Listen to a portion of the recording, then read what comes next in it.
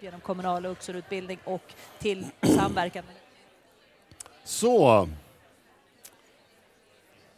Nu lägger sig sorlet. Tack. Hej, jag heter Johannes Hylander, kommer att vara moderator för, dag, eh, för seminariet här nu.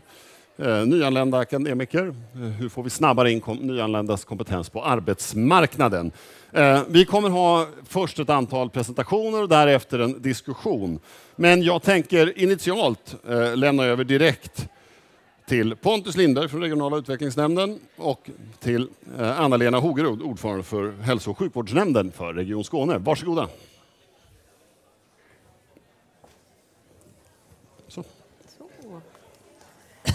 Ja, tack för det och eh, hej och välkomna. Det regnar inte här inne. Och eh, vi ska prata lite om hur vi snabbare får in nyanländas kompetens på arbetsmarknaden. Och jag och Pontus är två politiker från Region Skåne och vi representerar förvisso olika partier men jag tror att i de här frågorna så har vi gjort ganska mycket gemensam sak och vi står varandra ganska nära på det sättet. Um, vi två kanske har lite olika ingångar från regionala utvecklingsnämnden och från hälso och sjukvården som är en av, eller snarare den största arbetsgivaren i Region Skåne. Och jag tänker så här att det finns en stor potential i den här inflyttningen. Eh, och den potentialen måste vi ta vara på. Och vi behöver fler anställda i vår verksamhet och vi har människor som behöver jobb och då borde vi kunna så att säga slå två flugor i en smäll.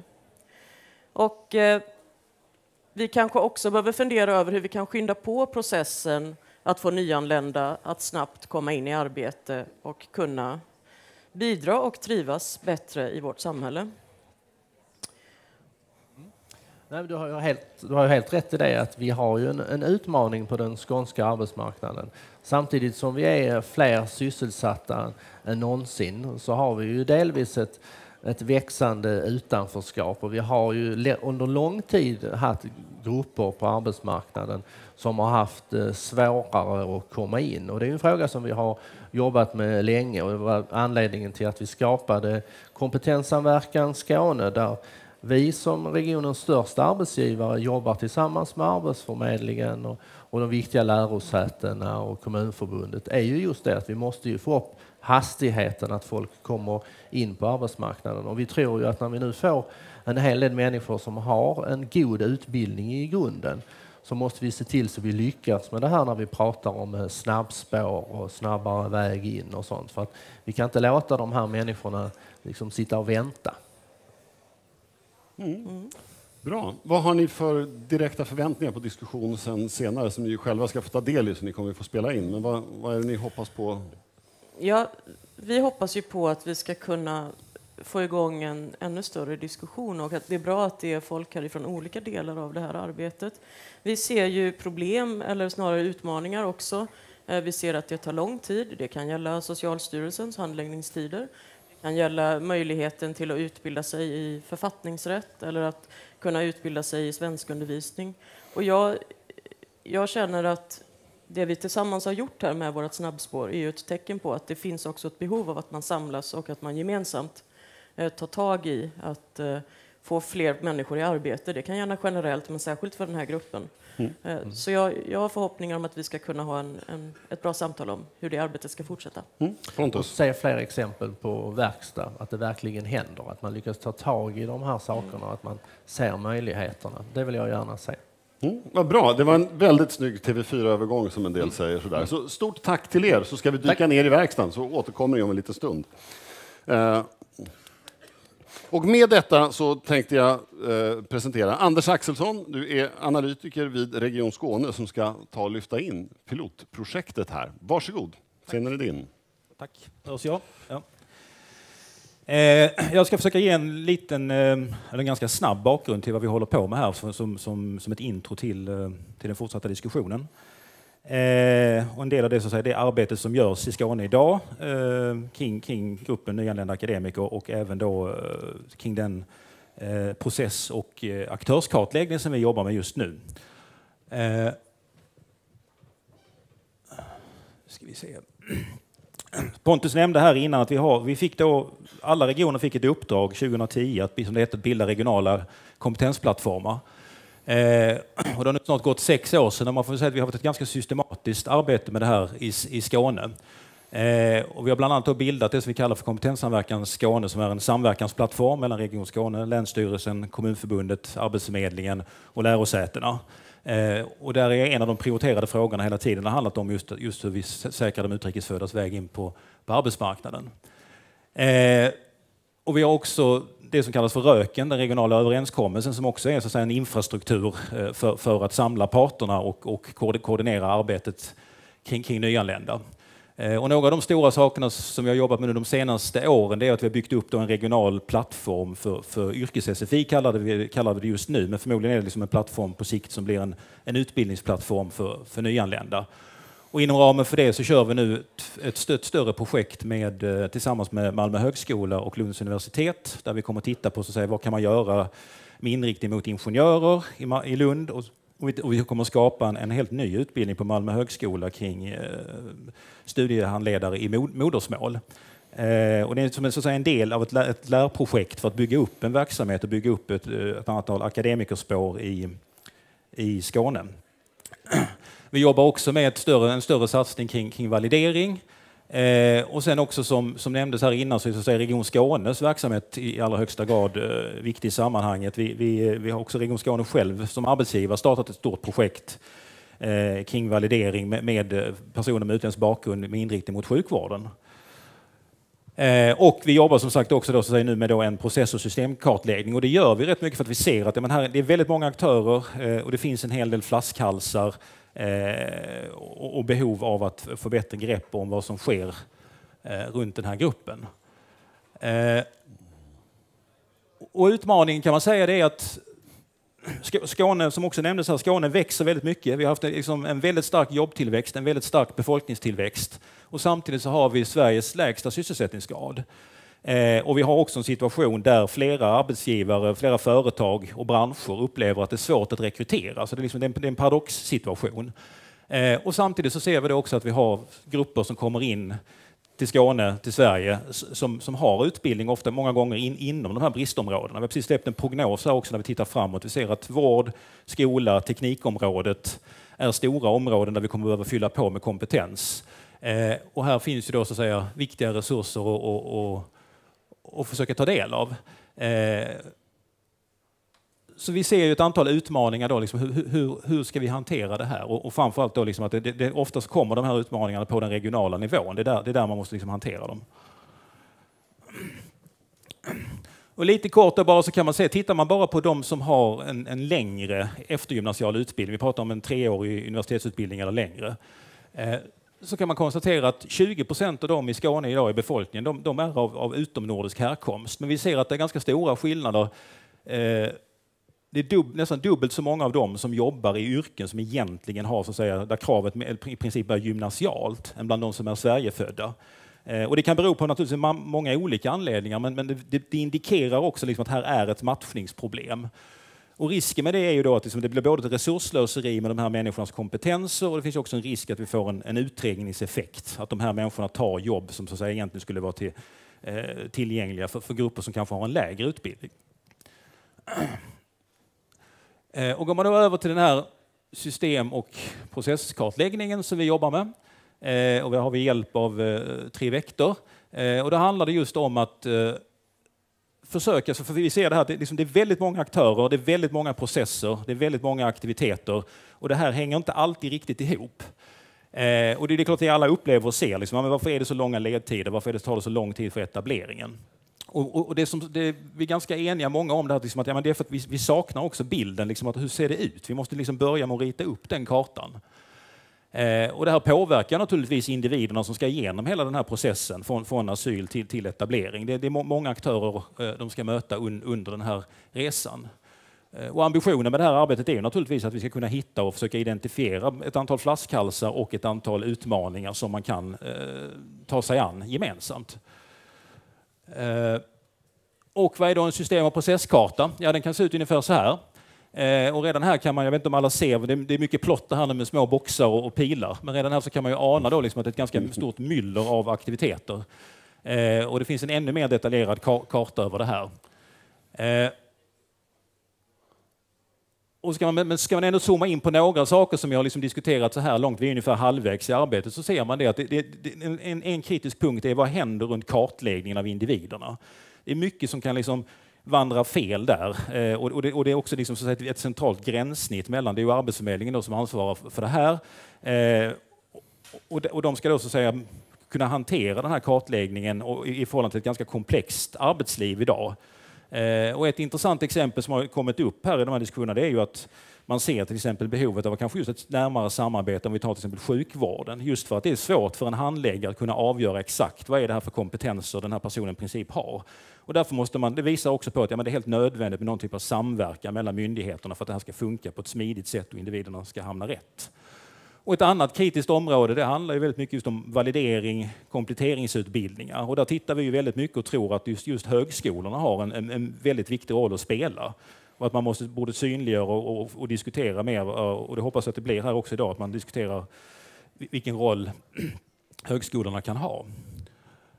Eh, och ofta så pratar man ju om det här liksom, det också väldigt övergripande, ja men det är långa ledtider. Men, men, en av de utmaningar som vi hoppas ju kunna, kunna komma till rätta lite grann med den här kartläggningen också, det är att alltså, bryta ner det här. Vad är långa ledtider? För det i sig består ju av en, av en mängd delprocesser i olika delar av systemet. Eh, det kan handla om otillräcklig information. Det är en sån fråga vi funderar på, just att vi får de individer som behöver komma in, så att säga, komma rätt i utbildningssystemet. När får man rätt information? Det är frågor kring regelverket mellan olika aktörer och myndigheter. Eh, det är frågor utmaningar kring samverkan. Till exempel finns det inga, inga nationella riktlinjer för hur man ska jobba med validering mellan högskolorna, vilket ställer till när man, individerna flyttar från, från ett län till ett, till ett annat. Eh, den enskildes möjlighet att försörja sig är också en viktig del i detta. Det påverkar också vilka val man gör, vilka incitament som finns. Och där är klart också en väldigt stor fråga som diskuteras nu. Det är ju vad, vad händer nu om man går över då, så att säga, till tillfälliga uppehållstillstånd? Hur kommer det påverka hur, hur individer tänker kring utbildning och arbetsval? Och sen har vi som jag nämnt det är kartläggningsprocessen som är jätteviktig att fokusera på. Eh, valideringen liksom ute i utbildningssystemen, hur ska den gå till? Och det är just därför som vi rullar de här piloterna nu med till exempel ingenjören och pedagogerna i Malmö. Det är för att liksom lära oss, för det är, det är inte självklart hur de processerna exakt ska gå till. Och det är också många gränssnitt mellan högskolan, Arbetsförmedlingen, arbetslivet. Det är många aktörer som hela tiden är inblandade. Och återigen då så säga, diskutera vilken roll högskolorna kan ha i det här. Eh, och slutligen också så säga då, menar, nätverken ut mot arbetslivet. Alltså hur skapar vi kontaktytorna för de här individerna att, att nå fram till, till, eh, till eh, arbetsgivarna? Vi är som sagt bara mitt uppe i arbetet, eh, med några preliminära lösningar eller liksom hypoteser eller reflektioner, vad man vill kalla det. Det ena är ju då som sagt, för att knyta komma tillbaka till början, vi tror ju att just att den regionala nivån är väldigt viktig och lämplig liksom för att föra den här typen av samverkansdiskussioner. Men då tycker, man, tycker vi väl också liksom att då, då bör man också diskutera med så att säga, regering och departement. Vad, vad, behöver man göra för att stärka det mandatet? Eh, behövs det mer resurser för att kunna sam samordna alla aktörerna på den regionala nivån? Vi pratar både om liksom, det aktörer på lokal nivå, och det är på regional och statlig nivå och en mängd andra aktörer runt om också i systemet. Eh, och vi tror också på behovet av regionalt anpassade lösningar. Eh, låt högskolorna och andra aktörer få pröva sig fram. Vilka metoder funkar? Hur ska vi arbeta på våra region, i vår region? Och samtidigt så, så, tror vi också att en viktig reflektion är liksom att på sikt hela tiden jobba efter alltså långsiktiga lösningar. Alltså vi, vi, vi, vi är ju ofta så att vi, vi rullar in saker i projekt. Men målet bör ju vara så att, säga, att projekten, om de är bra, så fort som möjligt så att säga, blir en del av, av den ordinarie verksamheten. För annars så, att säga, man gör bra grejer och sen försvinner det. Så det, det är också en viktig del av att, eh, hur, hur kan vi säkra ett, ett långsiktigt tänk. Eh, vi tror också kanske att det är viktigt att man tydligare marknadsför vad har de här individerna för kompetenser med. Så då är återigen så att säga, kartläggningsdelen väldigt viktig. Eh, och också igen det här att vi tror att man måste tidigare på ett, hitta ett systematiskt sätt att hur, hur, hitta, hur får man liksom in branschorganisationerna, delarna av näringslivet i samverkan med, inte minst med Arbetsförmedlingen, just då att hur ska man identifiera och hjälpa till med kartläggningen och i förlängningen också Arbetsförmedlingen gör väldigt många bra saker. Man kan också konstatera att en del företag sen säger att ja, men de här individerna skulle behöva någon typ av kompletteringsutbildning, oftast då på så att säga, högskolenivå eller eftergymnasial nivå. Eh, men då finns det inte riktigt något system för att fånga upp det här. Så det är också en sån kritisk fråga. Hur, hur hanterar vi det? Eh, och återigen så säger jag, liksom diskutera lärosätenas roll. Eh, vilket uppdrag kan de ha runt det här? Ska man, diskutera, ska man ha mer av uppdragsutbildningar? Hur ska man kunna få, få in de här frågorna i linjen? Hur kan man ha så att säga, en, en enhetlig ingång mellan lärosätena på, på regional nivå? Och, och, och, inte minst återigen, så att säga, hur stärker man då så att säga, samverkan mellan Arbetsförmedlingen och högskolorna också där för att kunna så att säga, tidigt komma in och lotsa eh, de här individerna eh, rätt i, i utbildningssystemet? Och det tror jag var min sista bild. Va? Nu, går det, för nu kommer jag inte vidare här i alla fall. Men... Där var det. Bra. innan vi går vidare tänkte jag bara ställa en snabb fråga. Du sa att ni är mitt inne i processen. Hur, ja. När kommer liksom slutrapporter landa? När kommer ni ha än mer konkretisering av de preliminära slutsatser som ni har framme nu? Ja, målet är väl att någon gång här under höst, hösten så ska vi ha det. Eh, och vi kommer ju köra, så vi har ju gjort det, det här bygger på rätt så mycket omfattande intervjuer som har gjorts både med, med, med personer i, i de här organisationerna men också intervjuer med nyanlända akademiker och deras erfarenheter av det här. Eh, och, och, nu under hösten så kommer vi rulla igång ett, ett antal, tror jag vi har sagt nu, att vi ska köra ett antal mindre workshops, kanske någonting med fokus på hur gör vi liksom direkt med högskolorna, eller hur gör, hur, liksom, vad, vad finns runt Arbetsförmedlingen, eller vad händer i så att säga, förändringarna i etableringsprocessen. Och sen så hoppas vi samla upp det här, som, jag, som ni, den här bilden ni såg, det så här ser ut som ett, ett, mer som ett kopplingsschema. Men, men poängen med detta är ju liksom lite grann att kommer man ner på den här detaljeringsgraden. Alltså då kanske man också kan upptäcka mycket tydligare liksom var ligger problemen, var ligger krockarna. Och sen, så, sen är ambitionen naturligtvis att analyserna sen kan kunna zooma ut och kunna ge en, en mer sammanfattande bild av, av, av tillståndet. Så den som har konkreta idéer får gärna mejla in till dig här framöver så kommer du kunna ta det med i fortsatta arbetet. Ja, nu är det ju sagt så det får det väl göra ja. Bra! Stort tack Anders! Ja, tack.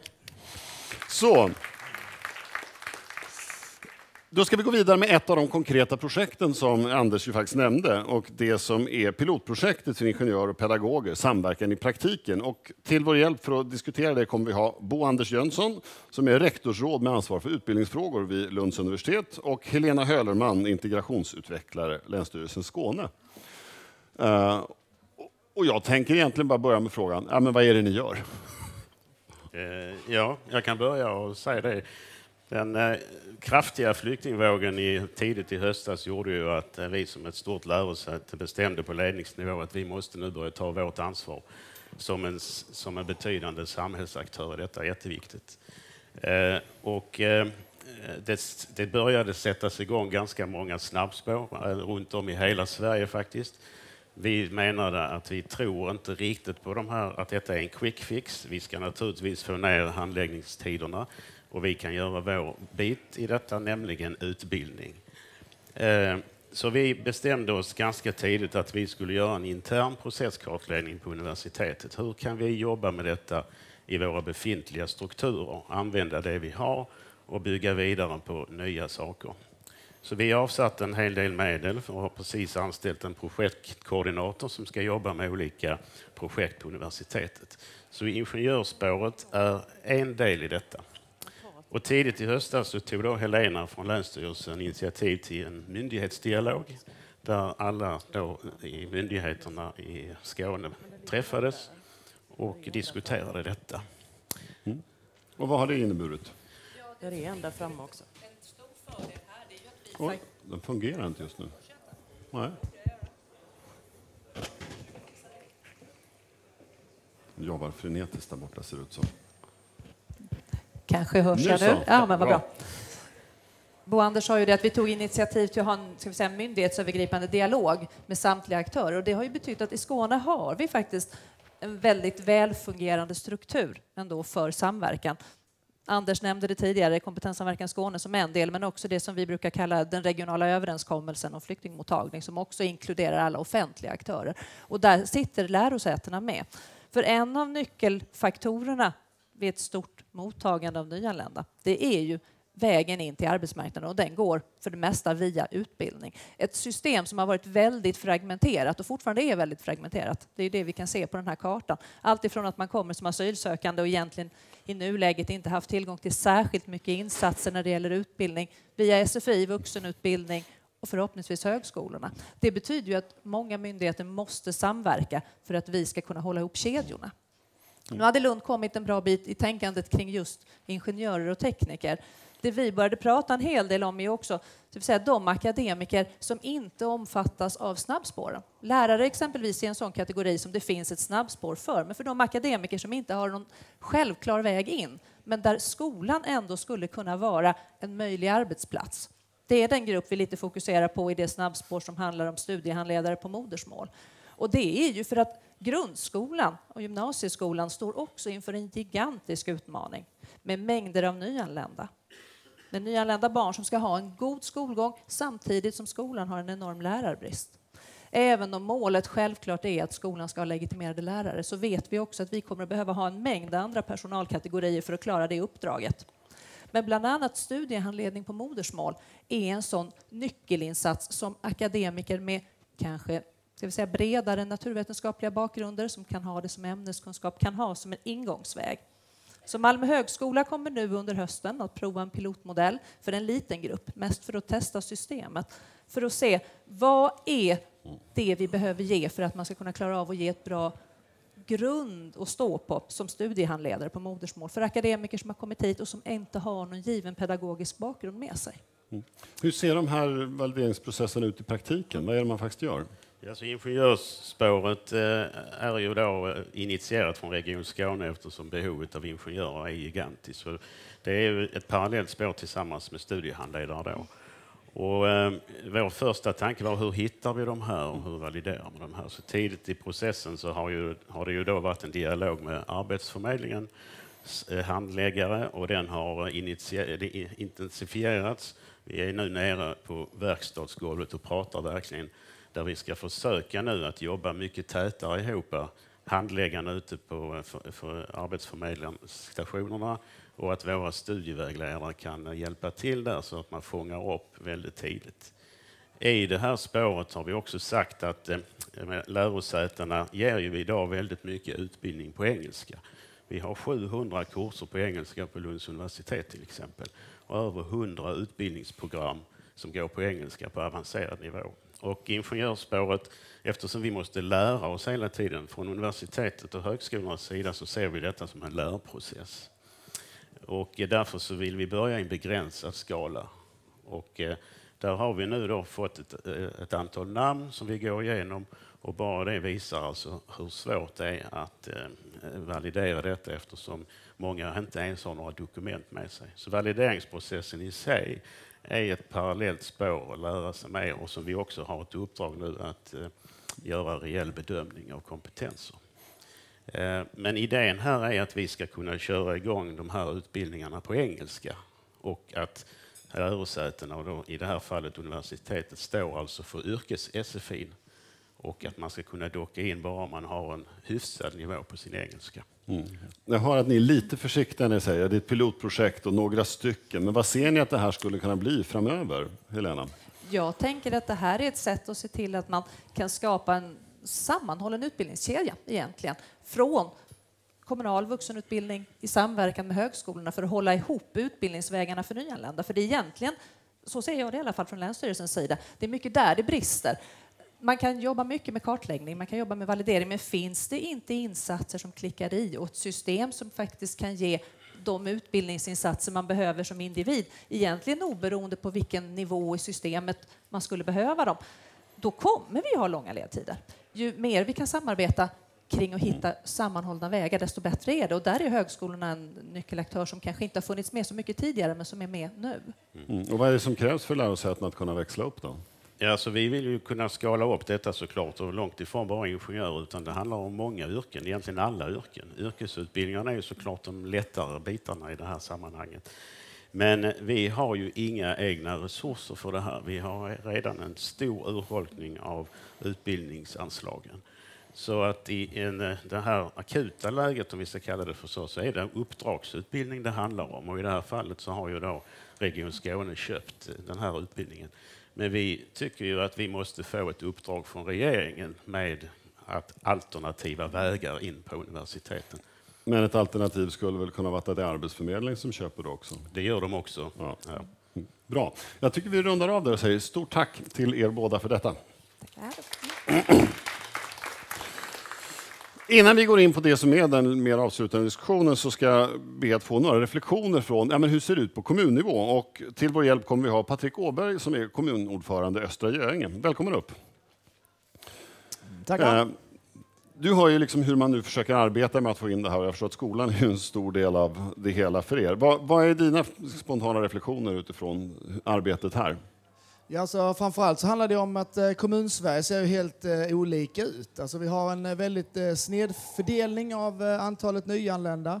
Vi har en jätteutmaning i vår lilla kommun med 14 000 invånare. Vi har alltså 450 i etableringsfasen. 450 i etableringsfasen. Eh, och den här matchningen mellan var det finns bostäder och var jobben finns, den matchar inte alls. Så det är den verkligheten som vi Eh, sitter i och försöker kämpa och slita med, med detta. Så att mycket kring det jag ser handlar mycket om matchningsproblemet när det gäller just var nyanlända landar i Sverige och hur man får en bättre fördelning. Och sen framförallt eh, att jobba väldigt mycket med det här, en bra start i början, alltså med språket, kompetensen och kartläggningen för vad det är för kompetens man har. Men i vilken utsträckning vet ni om de här nyanlända, vilka som skulle kunna bli föremål för den här typen av insatser med högre utbildning? Har ni liksom siffror på det ungefär? Eller? Vi drar igång nu ett, eh, ett projekt, eller en helt ny verksamhet som jobbar med eh, kartläggning och en eh, mottagen, eller mottaganhet som ska nu dra igång här till, till hösten. Men det är också så att eh, Kommunsverige ser också lite annorlunda ut. Vi har jobbat med flyktingmottagande och nyanlända under många, många år. Så den här senaste så att säga, vågen som kom nu förra hösten, det är liksom bara liksom en så här toppen på vårt berg, hur, hur vi har hanterat det här. Eh, Men jag ser ju då att eh, kartläggningen måste fram i tid och den har vi jobbat med. Och det är också en sån fråga som att där staten eh, har ju ett ansvar när det gäller Arbetsförmedlingen i den här För etableringsfasen. det var just det jag tänkte fråga, är det verkligen ert ansvar att ta och göra det här? Eh, nej, men som vanligt så är det så att när staten fallerar så får ju kommunen stiga fram. Och det är på migrationssidan, det är på eh, arbetsmarknaden, ar- alltså Arbetsförmedlingen och sen är det polisen. Så snart har vi väl kommunal polis också, när inte det fungerar. Ja. Men det, det, den frågan är faktiskt viktig. Att när det gäller just eh, eh, migrationsfrågan, integrationsfrågan, så är det så att när etableringsreformen kom till, i och för sig det var en alliansregering som kom till med den, då var det jättebra med jobbfokuset. Det var det bästa i den reformen. Det var jobben, det är det viktigaste. Problemet var att kommunerna hamnade på läktaren. Vi fick knappt plats på ståplatsläktaren. Vi är knappt inne i arenan. Eh, och det har jag jagat alla jag har kan, kunnat jaga för att vi måste vara med i detta. För det är i kommunen det händer. Det är där människor bor. Det är där man skapar sin framtid. Och här måste vi samverka och det är det vi nu gör i Skåne och Ost genom ett samverkan. Men om jag bråkar lite mer, ni äger ju inte alls det som har de frågor vi pratar här med lärosäten och så vidare. Nej, och därför måste man då bjuda in som vi har gjort i Skåne och Dust. Vi är sex kommuner, vi har bjudit in, vi har tillsammans med Länsstyrelsen fått medel för att jobba med just samverkan över alla som har med nyanlända eller integrationen att göra. Alltså eh, staten, eh, olika myndigheter, vi har eh, näringslivet är med, föreningslivet, ideella sektorn för att jobba med mottagandet. Både arbetsmarknad men också boendefrågan. För Visst, jobben är de viktigaste, men just nu har vi en boendesituation som är akut och den måste vi också lösa som går i parallellt spår med det här. Mm, bra. Om du fick önska någonting mer då från, säg både lärosäten och arbetsförmedling, vad är det närmaste utöver bara samverka? Vad är det konkret du skulle vilja ha? Så jag tror det konkreta är att vi har pratat om validering väldigt länge. Jag tror det är 20 års tid. Och frågan är liksom så här, vi pratar, pratar, pratar. Hur får vi den att faktiskt fungera? Så att vi ser att... Och sen är det också det här med olika sekretessregler som vi ofta bryter mot. Och det är det här, vilka personer som kommer till landet har den här kompetensen så att vi kan få ut den här informationen till kommunerna och kunna börja jobba med detta. Vi har ju regelverk som så att säga motarbetar varandra i det här landet och det måste vi också ta tag i så att vi kan få en samverkan för de här personernas bästa. För det är de vi allt eh, så att säga, ska få till. Så att säga. Mm, jag tyckte det var ett jättebra slutord. Tack så hemskt mycket Patrik. Tackar. Så, och till vår hjälp för att liksom reflektera, ja, men vad kan man göra, vad kan man lära av det här i det regionala arbetet och lyfta till nationell nivå. Vad skulle nationell nivå kunna stötta? Så kommer vi att ha en, en månghövdad panel och det har att göra med att det är faktiskt så enormt många infallsvinklar på just de här frågorna. Så att till vår hjälp kommer vi ha Sofia Larsen, ordförande för Jusek som organiserar jurister, samhällsvetare, systemvetare, personalvetare, ekonomer. Kommunikatörer. Kommunikatörer. Får inte glömma dem. Eh, vi kommer ha eh, Katarina Brännström, riksdagsledamot för Moderaterna. Välkommen upp. Tackar. Vi kommer ha Elin Ylvasdotter. Du är ordförande för S-studenter. Välkommen upp. Och vi kommer också ha både Anna-Lena Hogerud och Pontus Lindberg återigen. Välkomna upp på scenen. Eh, och jag tänkte egentligen börja. Eh, Sofia, du står närmast här. Eh, nu har vi pratat ganska mycket om ingenjörer, vi har pratat pedagoger och som jag nämnde nyss, det är inte riktigt de du har som medlemmar. Vilka, hur ser det ut bland de som är medlemmar och de som kanske borde vara medlemmar hos er? Och vad är det de har behov av? Först vill jag säga att ett otroligt stort tack och jättebra jobbat Skåne. Det här är verkligen på riktigt och man tar tag i frågan tycker jag. För att hur vi i Sverige hanterar nyanlända, etableringen av nyanlända, kommer påverka svensk, svensk arbetsmarknad under lång tid framöver. Och det är det precis som många har sagt, det är att arbeta på riktigt och konkreta insatser som krävs. Eh, om man tittar på akademiker så är ju idag var femte akademiker har, eh, är född eh, utanför Sverige. Men tittar vi på hur många som har ett arbete i nivå med sin utbildning så är det bara var tredje. Så vi har alldeles för många om vi tittar på våra yrkesgrupper, jurister som städar, civilekonomer som kör taxi. Och det vi har tagit ansvar för och det vi säger nu är viktigt, det är att få igång en jobbkedja. Att se till att de som är utbildade akademiker också har ett arbete i nivå med sin utbildning och i nivå med sin kompetens. För att då frigör vi också, vi, många pratar om enkla jobb och det behövs. Men vi bör också få igång den här jobbkedjan så att de enkla jobben kan vara till de som inte har så mycket erfarenhet eller utbildning med sig i bagaget.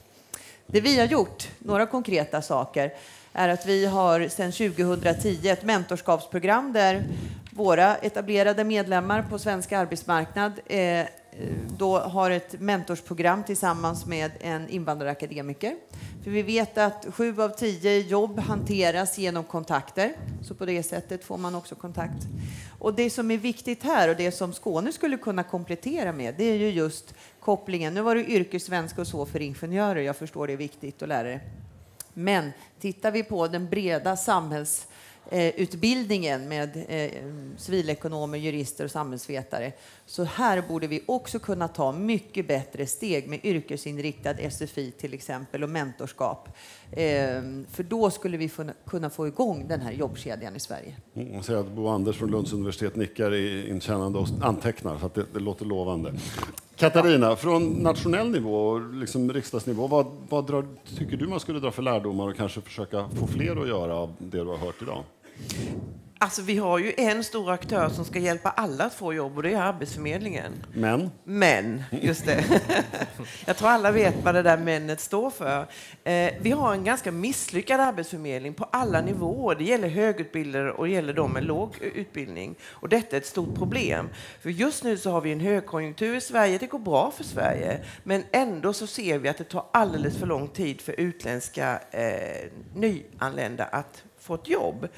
Och vi menar ju att man borde ha tänkt på detta redan direkt när man alltså accepterade att vi skulle ha så många som kommer in. Hur löser vi den här statliga delen av att hjälpa människor i jobb.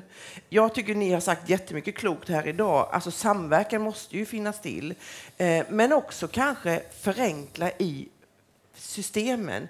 Göra, alltså, vi har regelverk i Sverige som är gjorda för en helt annan tid än den vi har nu.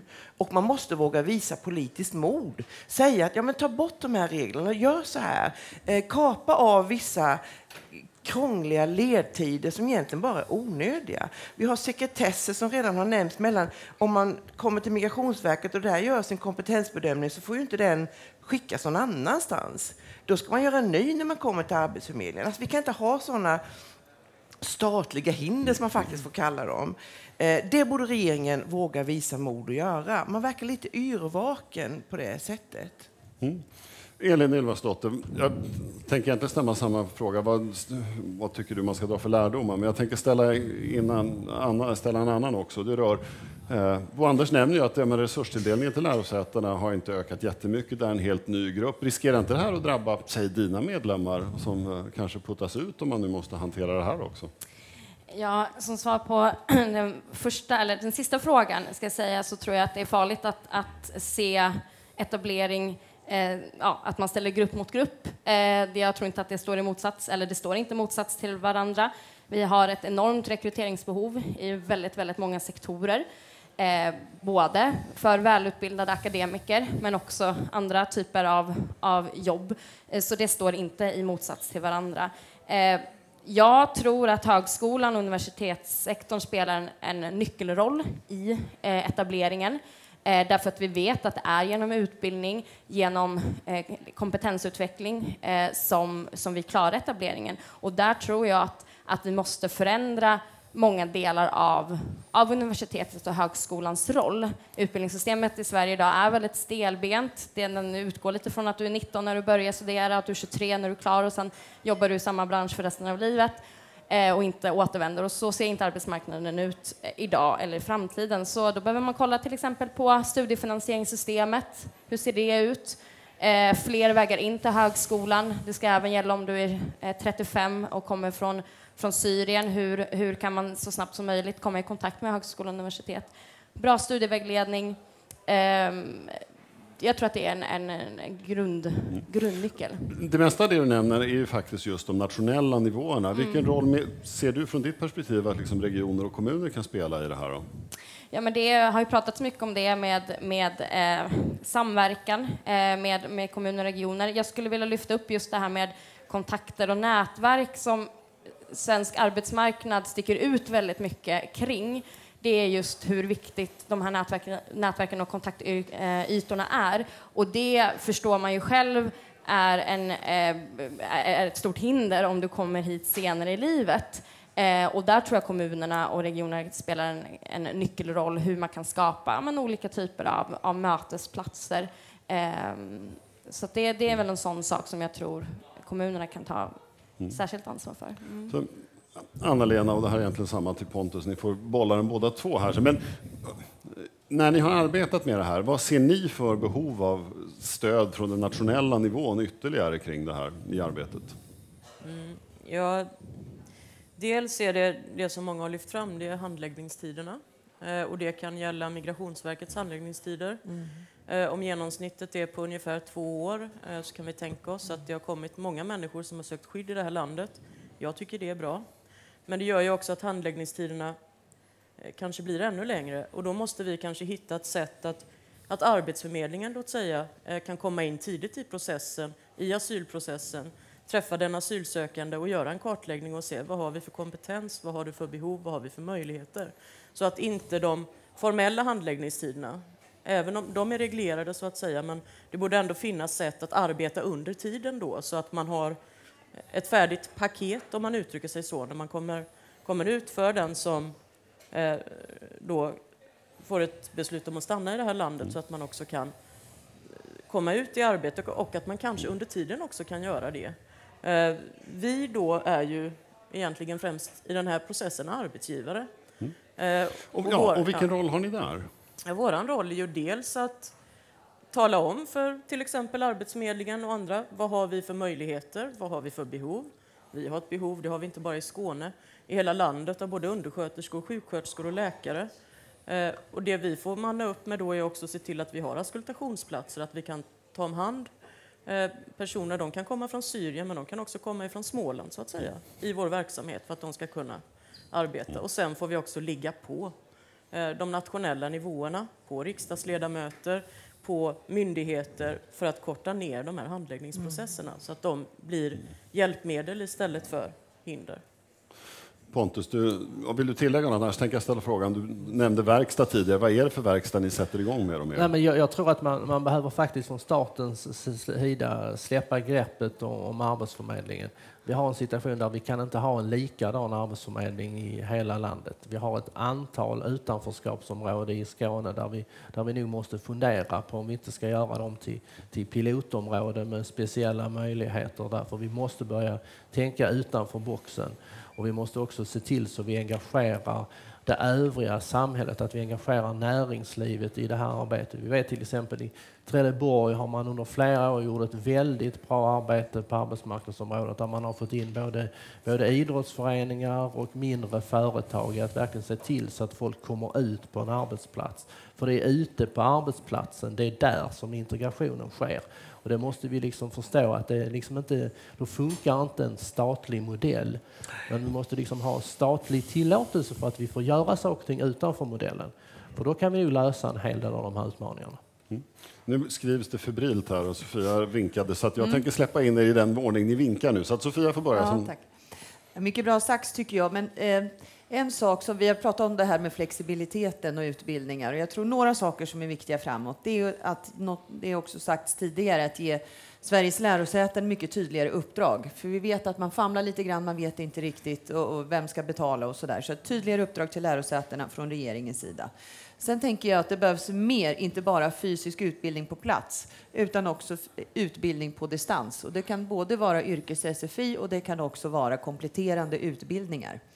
Tredje delen jag vill lyfta det är just det här med långa handläggningstider, att vi verkligen får igång, och det är både Migrationsverk och samarbetet med Arbetsförmedlingen, kompetenskartläggning tidigt så att man eh, slipper vänta ett par år eh, på den. Eh, få sin utbildning validerad. Vi vet att det är ett jättetryck nu, men se till att snabba upp den så att man snabbare kan komma både få de här kompletterande utbildningarna och sen ut på, på arbetsmarknaden. Får vi de delarna på plats, då tror jag att vi kan snabba på processen väldigt mycket. Mm. Elin viftade tidigare. Nej, det var Katarina bara. Mm. Mm. Eh, nej, men, ja, det är väldigt mycket bra saker som sägs. Jag tror vi är ganska överens. Man måste komma till en, en samverkansmyndighet på den nivån. Ni samverkar i Skåne, det är jättebra, men även på statlig nivå. Migrationsverk, Arbetsförmedling, det finns många myndigheter som måste alltså direkt komma, där man, man måste korta tiderna. Men om jag bråkar, är det en ny samordnare du efterfrågar? Samordnare, det, nej. Jag tror mer att, att regeringen skulle våga peka med hela handen. Jag är säker på att man skulle ha stöd av det, av oss bland annat. Eh, att korta tiderna. Att man helt enkelt gör på ett annorlunda sätt, som vi aldrig har gjort. Och det är precis som säger, ett centraliserat system för bedömning. Och man kan inte sitta och bedöma människor på olika nivåer och sen detta får aldrig samordnas. Eh, fler privata aktörer när det gäller att komma ut på arbetsplatser. Näringslivet är bättre än det offentliga på att ta hand om eh, välutbildade människor. Det, det är också någonting för oss i det offentliga att lära sig. Kanske en väg in, one stop shop, vad man nu har talat om. Alltså, det, kan, det måste, för att kortas, komma från uppifrån, att vi, vi klipper av liksom vissa krångliga saker och på det viset snabba upp processen. För gör vi inte det nu, då kan det komma en lågkonjunktur och då blir det ännu svårare. Jag har en känsla av att ni inte är tokiga för jag tror att både Pontus och Anna-Lena kanske inte tycker att det ska vara staten som styr med hela handen utan att ni vill bestämma själva. Anna-Lena? Ja, alltså, det är ju bra om man kan se över sina byråkratiska system eh, och, och hitta dem Eh, och ha kvar de regler som man behöver ha. Men jag tror att många av de här reglerna är också skapade för att skydda både den enskilde och den som de sen ska behandla, så att säga. Eh, så jag, jag, jag skulle säga att man kan ju göra det här ändå. Eh, och det är ju lite grann därför vi står här. Att man, man kan hitta lösningar i systemet. Sen är det klart att vi i vår verksamhet tycker att det är klart att handläggningstiderna skulle bli kortare. Och det, det handlar ju också främst om den enskilde som inte ska behöva gå och vänta i flera år. Men om vi då ser till exempel att ja, det, det är en flaskhals när det gäller svenskundervisningen eh, för att de ska kunna arbeta i vår verksamhet och också då uppfylla de krav som Socialstyrelsen säger. Då finns det ju en möjlighet att faktiskt upphandla den tjänsten eller att tillhandahålla den tjänsten och då fattar vi ett beslut om att göra det. Så att vi på kommunal och regional nivå har ju också ett ansvar eh, som vi kan ta så att säga inom de ramar som finns. Sen är det klart att det kräver ju också att man samarbetar, att man har ett gott samarbete med universitet och högskola och arbetsförmedling och migrationsverk för att det ska flyta på i praktiken. Mm. Men det går ju. Ja, Pontus, vill du tillägga? Ja, men jag tycker vi har kommit en bra bit på väg i Skåne och sen tycker jag vi måste göra en del andra saker. Vi som är en så väldigt stor arbetsgivare i Skåne, jag tror att vi måste börja jobba ännu mer med, med mentorskap. För vi, har, vi har tusentals av anställda i vår organisation som faktiskt skulle kunna investera några timmar per månad liksom, att, att möta folk och möta folk utifrån att jag jobbar på den här arbetsplatsen, det är det vi gör här. Liksom. Jag tror den typen av möten i, i vardagen där folk också nyanlända får se vad är en arbetsplats i, i Sverige, vad är det faktiskt vi gör? Där tror vi har många som kan bidra i det arbetet och det arbetet har vi ju börjat så smått i Skåne och där bör vi nog fortsätta. Mm. Sofia? Ja, det där tror jag du satte fingret på någonting. Vi tittade också i Jusek, gjorde en undersökning eh, bland våra egna medlemmar och kunde se att, att en stor majoritet ville gärna hjälpa till. Alltså den ideella kraften finns och viljan finns att stödja och hjälpa till. Och där tror jag, där behöver man inte ha byråkratiska system, utan det kan man också fråga. Vem kan ställa upp som mentor till exempel? Vem kan hjälpa till att handleda? Eh, och där kan man få mycket kraft också. Vi kan använda mer av det ideella Sverige. Mm. Elin och sen Katarina. Ja, nej, men, men jag tror... Alltså, risken... är- Eller, ja, det, det finns en risk, tycker jag också, när man pratar om, om, eh, om etablering och, eh, och sådär. Det är det här med... det här, vad är huvudsaken? Att, det blir, att man får ett jobb eller att det blir rätt jobb? Eh, och det är grundproblematik på svensk arbetsmarknad idag generellt, att det är en skevhet, det är en matchningsproblematik. Och egentligen, ja, det, det, borde inte vara, det borde inte vara så svårt. Eh, och det är väl det som många konstaterar också, att här, kommer, här har vi stor brist på, på lärare, vi har stor brist på, på, på sjuksköterskor, vi har stor brist på socialsekreterare och det kommer många välutbildade. Eh, och då tror jag att det absolut viktigaste är, när vi, apropå det här med byråkra, byråkrati och regler, eh, som Anna-Lena också sa, att de finns ändå där till att, att skydda människor Eh, att vi också inte heller får glömma bort att trygghetssystem också är en förutsättning för att etableringen ska bli bra och att matchnings, matchningen ska bli så bra som möjligt. Eh, och etablering är ju också i, i grunden ett, ett jämlikhetsprojekt någonstans eh, som gör att människor som kommer hit ska få så snabbt få, få så, samma förutsättningar som människor som har bott här länge har. Så att det är en dimension som man inte heller får glömma bort. Att nu, nu, nu är vi väldigt, eh, liksom vill att det ska gå så snabbt och så smidigt som möjligt. Eh, och det ska det, men det står inte heller i motsats till ja, trygghetssystem, eh, viktiga regler som ändå finns där för att ja, försvara och skydda människor. Men Mm. pro- problemet är ju att, att eh, sanningen är ju att vi är ju sämst i Europa på integration och nu har vi den största integrationsutmaningen som någon i Europa har. Så vi måste tänka utanför boxen, vi måste göra saker och ting på ett nytt sätt och då måste vi släppa lite av den, den heliga svenska modellen om vi ska få det här att fungera. För att det avgörande är ju faktiskt att folk kommer ut på arbetsmarknaden. Om det tar så lång tid som det gör nu i Sverige att komma ut på arbetsmarknaden så dömer vi folk till ett utanförskap och dömer dem till att inte ta del av samhället. Och här måste vi lyckas tänka på ett nytt sätt. Mm. Katarina och sen Sofia. Vi har mycket att lära av andra länder. Tyskland har kommit fram till en trepartsmodell. Danmark har gjort det. I Tyskland gör man en lag av det. I Danmark har man kommit Danska arbetsgivare, dansk fackförening och regeringen har då kommit överens om hur man ska lösa detta. Sen kommer det säkert att vara, finnas problem på vägen.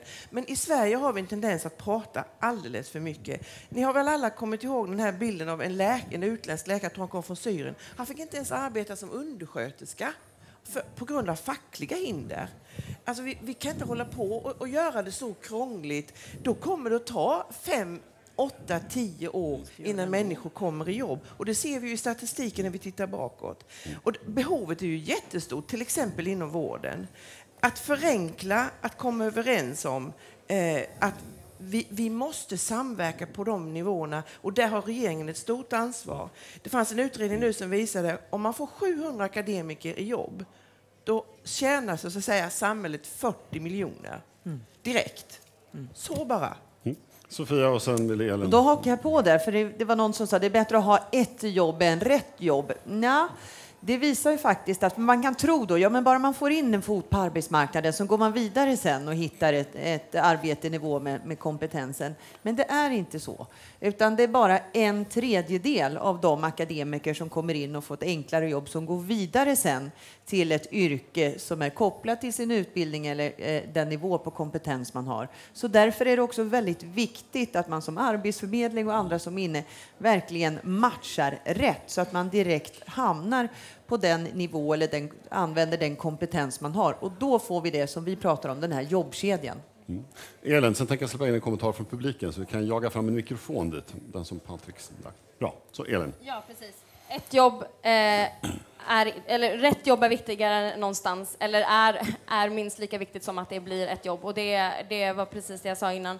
Och jag tror att den, stor, den, den stora konfliktlinjen här någonstans är jag tror inte att det är svenska modellen eller fackliga rättigheter som, har, eh, som är förklaringen till att det har tagit väldigt lång tid, eller det tar väldigt lång tid att etablera sig.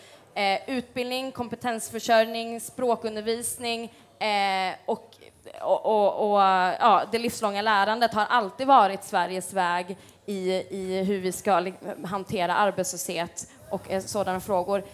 Sänkta lägstalöner, eh, försämrad arbetsrätt och så vidare har aldrig varit vägen framåt för Sverige och det tror jag inte det kommer vara nu heller. Det viktigaste är att matchningen blir så bra som möjligt för vi har en stor skevhet idag på arbetsmarknaden och det ser vi inte bara när det gäller nyanlända, det ser vi även i min generation eh, nyexaminerade studenter som i, i en stress och i en, i en oro tar första bästa jobb eh, istället för att ja, ha ett trygghetssystem som möjliggör att kunna hitta rätt jobb så att matchningen också där blir så bra som möjligt. Mm. Nu ska vi se, vi hade en kommentar härifrån. Ja, hej. Alexandra Hagen heter jag, eh, kontorschef på White Arkitekter i Malmö, en arbetsgivare i mängden. Det är ju väldigt bra med konkreta exempel ur verkligheten. I höstas så klev det in en fantastisk visualiserare. Jag vill tillägga att det är 0,2 procents arbetslöshet i vår bransch. Vi har jätteproblem att hitta folk som vi söker. I höstas så klev det in en, en, fantastisk visualiserare från Syrien på vårt Örebrokontor som har letat efter en sån i över ett år. Så du kan börja jobba här imorgon. Det här är fantastiskt. Sen kommer ett halvår av fruktansvärd, plågsam, tidsödande och kostsam byråkrati för att få in honom på kontoret. Han hade kunnat börja jobba direkt.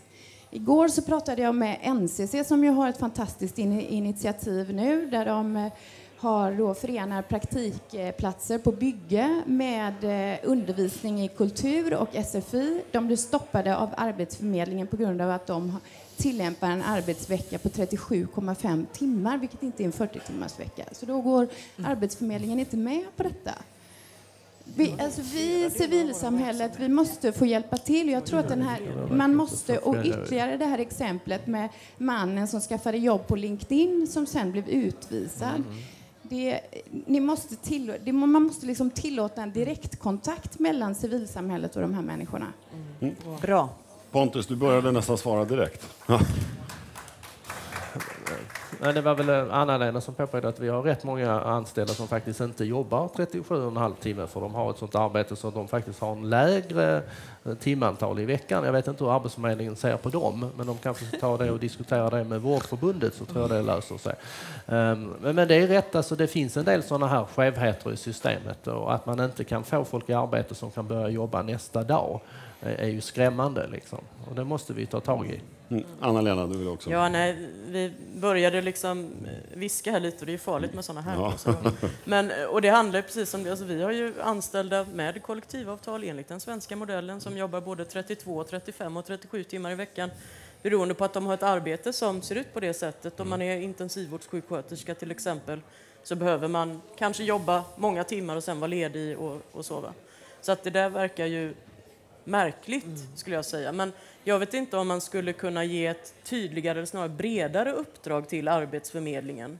Det är ju inte vårt bord, mm. men om det men kanske skulle önska. vara en lösning. Ja, man skulle kanske kunna önska det, att man hade ett, ett bredare uppdrag än det man har, att man ser över det eh, så att det blir tydligare. Det kanske skulle kunna vara en möjlighet. Det är klart att det inte ska spela någon roll om man hittar jobbet på Platsbanken eller på LinkedIn. Jag tycker det. Mm. Mm.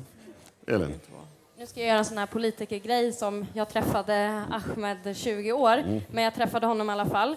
Och han eh, eh, hade påbörjat sin ekonomiutbildning i Damaskus eh, och eh, 20 år och har tagit sig till Sverige och det enda han vill är att få komma in i det svenska samhället, påbörja sin utbildning, lära sig svenska, men eh, han sitter fortfarande och väntar på sitt uppehållstillstånd och kan inte göra någonting. Det här är ett jätteproblem, det är en grogrund för frustration. Det är helt slöseri med hans kompetens, hans vilja eh, och hans ja, potential. Och han är, det, är ju, det faktum är ju också att det är många som kommer hit som är väldigt unga, runt 20-årsåldern, eh, som inget annat heller vill än att, att påbörja sin, sin framtid i Sverige. Då tycker jag att tidiga insatser som kan påbörjas så snabbt som möjligt, kanske till och med innan uppehållstillståndet är på plats, att man ska kunna börja undervisa eller lära sig svenska, eh, någon form av eh, kontakt med, med arbetsmarknaden, praktik, vad vet jag, men så tidiga insatser som möjligt. För nu sitter han och bara väntar och väntar och väntar och väntar och ja, försöker lära sig svenska så gott det går genom att träffa eh, andra svenskar. Och det, det tycker jag är slöseri. Han har varit här sedan oktober. Och han hade kunnat påbörja sin utbildning, eh, eller fortsätta sin ekonomiutbildning nu, om, om saker och ting hade gått snabbare. Men det står heller inte motsats till att jag tycker att han fortfarande ska ha eh, ett trygghetssystem som, som hjälper honom eh, genom det här. Mm. Sofia? Vi har pratat integration i vårt land i många, många år och det satte sig väl på sin spets här under hösten. Men jag, och då tänker jag så här, det har diskuterats och diskuterats och det är några förslag, det har påbörjats lite grann också från regeringens sida, men, men vi som Jusek akademikerförbund, vi gör vårt och de konkreta saker vi gör. Ta gärna med er nu till regering, till riksdag och gör konkret. Se till att vi får den här flexibiliteten, se till att vi får de tydliga reglerna ehm, eh, runt om i landet och se till också era partikollegor runt om i andra regioner att följa efter. För det är det som behövs, för att det är inte mer diskussion utan det är konkret handling nu. Det var en jättesnygg avslutning tycker Ja. jag. Så jag tycker vi säger stort tack till Sofia, till Katarina och till Elin. En applåd.